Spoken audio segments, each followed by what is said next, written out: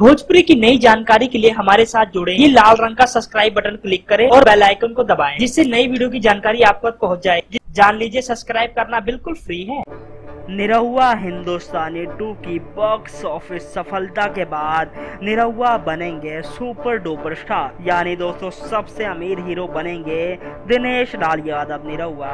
दोस्तों सुपरस्टार निरहुआ की film box office पर सफल ना हो, ऐसा तो हो ही नहीं सकता है। दोस्तों, कुछ दिनों पहले ये चर्चा का विषय था कि सबसे अमीर हीरो कौन है भोजपुरी इंडस्ट्री में। इस बात पे नंबर वन का ठप्पा लगा था पवन सिंह को। लेकिन दोस्तों, नंबर वन का ठप्पा लगना पड़ेगा निरहुआ पर। क्योंकि दोस्तों, निरहुआ का आलिशाना घर तो आपने देखा ही होगा।